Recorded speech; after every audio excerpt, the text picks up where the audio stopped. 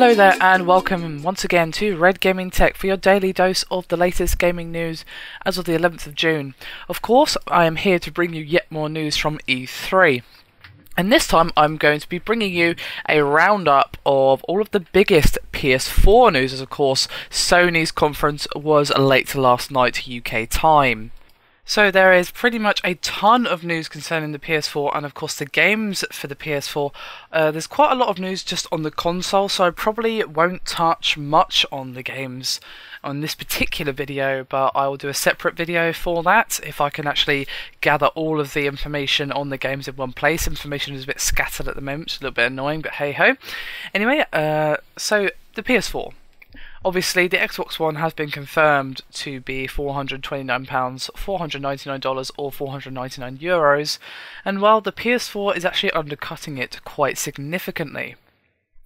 It will be $399, 399 euros, or 349 pounds. So it's 100 US dollars less and 100 pounds and 100 euros less. Basically, 100 less than the Xbox One and they did actually show the console hardware for the first time and confirmed that its Gaikai service will launch in 2014 in the US, which will make a selection of classic PS3 titles available via the cloud. And by the way, guys, if you want to see the console, I'll put a link in the description so you can go take a look.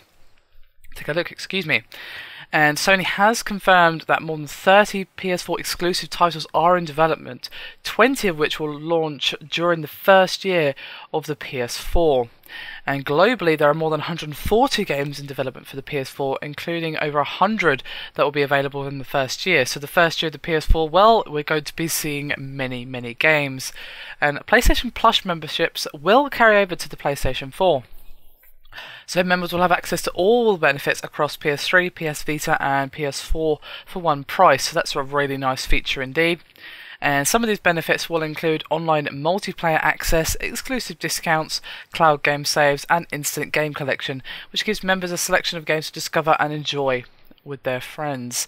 And Sony will offer Drive Club PS Plus Edition in the Instant Game Collection to celebrate the launch of the PS4 so there's something interesting there that I think we should touch on just for a moment, and that's that the PS4 multiplayer will require a PS Plus subscription, and this was confirmed by Sony. And I have a quote here. PS4 multiplayer online access requires PSN account and PS Plus subscription. And of course, as pretty much anyone knows, PS3 multiplayer is free to access and is considered to be one of the main bonuses of the console over the Xbox 360, which of course just require a subscription to Gold to play games online. And the video did show Sony's Shuhei Yoshida demonstrating that showing a disc-based game on a PS4 is simple as passing the disc to another PS4 owner, and it was clearly a dig at Microsoft's DRM heavy use game policies for the Xbox One. However, the video did note that the foregoing instructional video applies only to disc-based games, indicating that any games you acquire digitally may be subject to DRM restrictions, as is the case on the PS3, so that makes perfect, perfect sense. So I'm sure many people are going to be a little bit upset by this change because obviously they've been enjoying free multiplayer all this time on the PS3. However, you do need to consider that PS3, while you know, the free online was always a good thing. They had various problems with that service, and there's only so much they can give you with a free service.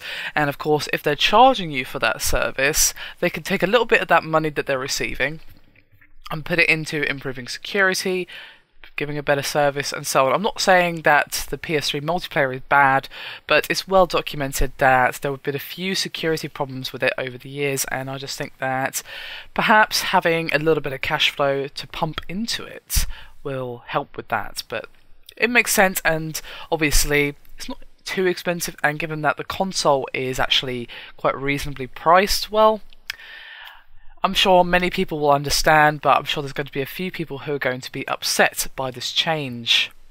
So we touched on the always online and pre-owned restrictions there, and they have confirmed that there will not be any.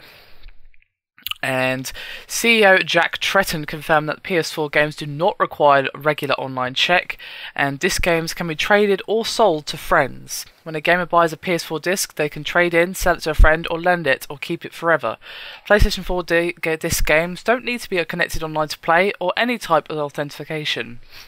PS4 won't require you to check in. It won't stop working if you haven't authenticated within 24 hours. So obviously, I pretty much dig a dig at MS for that, and but to be honest, ignoring all of the shin kicking that's going to be going on between the companies at the moment, I'm so glad that Sony has done this because there were some concerns that the PS4 would have to follow suit because, well, publishers might prefer the Xbox One. Of course, consumers definitely 100% are reacting negatively to the DRM. However, a publisher might like the idea of getting a little bit of, of a cut of used game sales, and well, you can't really blame them. So there was some concern that Sony might have to follow suit simply because the publishers will say to them, well, look, on this machine, we get a cut of used game sales. On your machine, we don't. You need to change that, or we're not going to release X game on your console.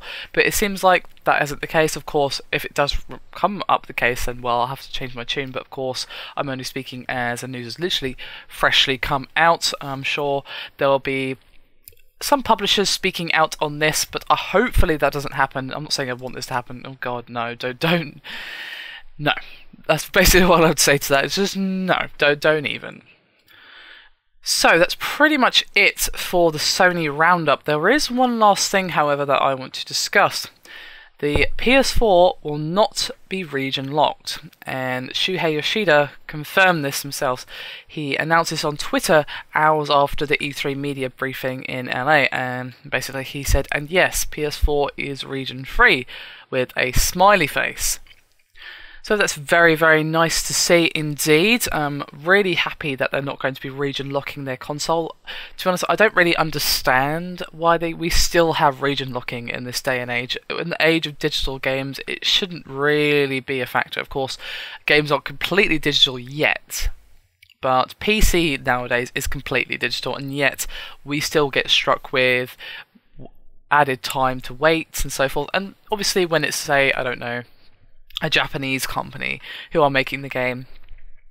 Makes sense that they need time to translate it over to English and also change it to PAL, etc., or um, you know all that good stuff. That makes perfect sense. Cool, fine, no problem. But when it's an American company or an uh, an English-speaking game, for example, then well, I don't, you know, and sometimes it's a case of America gets it in July, and then Europe and the UK won't get it till Christmas, and there'll be no real good reason for it. So, so glad that PS4 is not going to be going go, going down, excuse me, the region locking route. Anyway, that's me done for this particular roundup. As I said, do keep your eyes peeled. I will bring you more Sony related news. Um, there's quite a few games confirmed, and I want to discuss those a little bit as well, but not in this video. I think I've rambled on enough for one video, but still, I really hope you guys have enjoyed. Do hit me up with any thoughts and opinions. Um, the the thoughts and opinions of most people at the moment seem to be, well, that the PS4 completely trounced Microsoft. And, well, to be honest, I don't want to go into the console wars. I'd like to try and remain unbiased. However, it is definitely a fact that they are definitely being re- more well received than Microsoft. No one can argue that. Anyway, as I said, that's me done. Thank you very much for watching. I'll see you next time.